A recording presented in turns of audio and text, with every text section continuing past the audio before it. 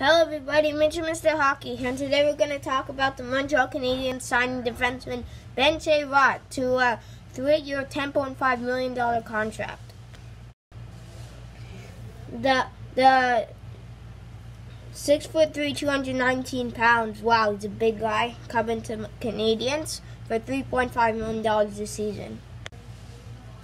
Ben Chiarot had 5 goals and 15 assists for 20 points in 78 games last season a 6 plus minus 62 penalty minutes, so the Canadiens will have to be watchful that he doesn't take too many penalties. 111 shots and 1837 time on ice, so he, he can really fill in some time on ice. I think he'll take a place of Jordie Benn. Um, his career, he had 305 games, 12 goals, 52 assists, 64 points, plus 16 plus minus. Um, doesn't does he's more of a defensive defenseman, doesn't score a lot, but people don't score when he's on the ice. And an average time of ice of 16-10. So last season it's given a raise in ice time. See how it goes. Um, he turned down a four-year contract with the Winnipeg Jets. So I think for Marc Bergevin at the time, it was he was the besides Jake Gardiner that they didn't think they were gonna get he was that you take him. He was Ben Chiarot was you take him when you get him, otherwise you're not gonna get him. So I think that's why he took him. But if the Canadiens resign Yoel Armia and Artturi Lehkonen, and they find out they still have, they still have, they, whatever they have left plus 3.5 million, could have signed Jake Gardiner. Well then, yes, I guess they would feel a little bad about themselves. I don't really understand this signing because I don't really think Ben fits into what the Canadiens are trying to do. They wanted a high power offensive defenseman like Jake Gardiner, and they haven't got one. When you look at his secondary numbers, the numbers that don't get talked about a lot, he had 139 block shots and 100 and um had 139 hits, 171 hits. Wow. So this guy really he can play physical. If the playoffs, if the Canadiens can make the playoffs, I, this this guy can really bring it, and I think he'll be good. The five goals, 15 assists is a career high. Here's what Chiarot said in a video conference, um, uh, on a video conference call. He said, "I like the opportunity in Montreal."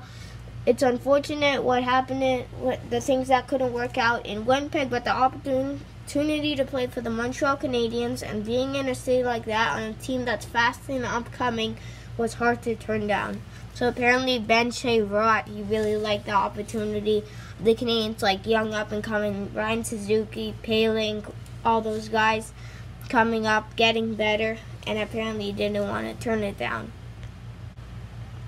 I could also understand because the Winnipeg Jets are kind of in a funk right now with um, Patrik Laine still a restricted free agent, Kyle Connor still a restricted free agent.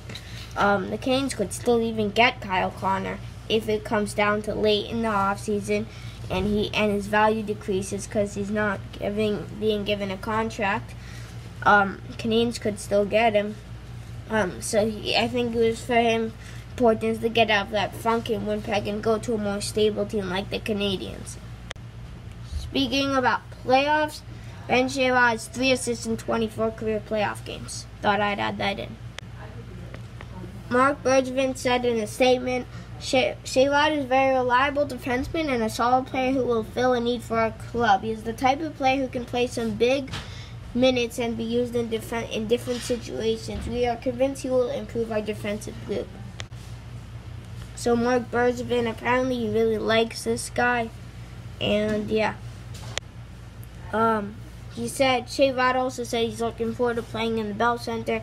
Bell Center is like um, MTS place. It's very loud. The fans are loud. It's and it's high energy. Ben Chiarot will probably be wearing the number eight. He wear he wear he wore the number seven in Winnipeg, but that number is retired to Howie Morenz. Um, Chiarot said he could see himself fitting in a pairing with Jeff Petry. Um, but here's how I stack the defense. um, Mete and Weber on the first pairing, Kulak, Brett Kulak and Jeff Petry on the second pairing, and Ben Chiarot and Noah Juulsen on the third pairing. Think ben and Juulsen, a veteran, working with the young guy. Um, a defensive defenseman to cover up for the more offensive Julian if he makes a mistake or something like that. Um, but I mean, I still think um, if they find out after re after re-signing and Armia that we still could have gotten Jake Gardiner, then I think this will will be, look like a loss. But the, the signing itself, signing Ben Chiarot is not a loss, but, but the potential of what could have happened, it could be a loss. So I'm just going to throw that out there. So I think Ben Chiarot, solid defenseman, solid player, good defensive defenseman. Basically, he's going to replace Jordie Benn, who's an unrestricted free agent. Uh, I think good signing by the Canadiens. We'll see how it plays out.